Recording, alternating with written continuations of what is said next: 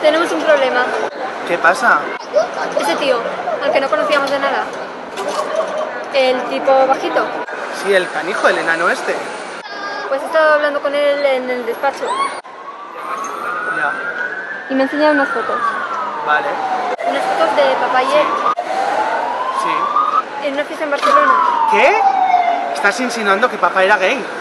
Eso mismo, Entonces, ha engañado a mamá. Evidentemente. Joder.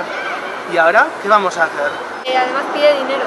Mándala a tomar por el culo. Es que no lo entiendes. Tiene las fotos y si no le damos el dinero, enseña- les contará a todos la vida sexual de papá en su propio entierro. A mí no me interesa la vida sexual de papá. Ni a mí tampoco. ¿Qué hacemos? Pues no sé. Tendrás que pagar el dinero. Pagarlo yo todo si tú ni siquiera has pagado la mitad del entierro. Tú vives con mamá y has vivido con papá. Tendrás dinero ahorrado. Pero después del entierro pues no me queda nada. Algo te quedará, digo yo.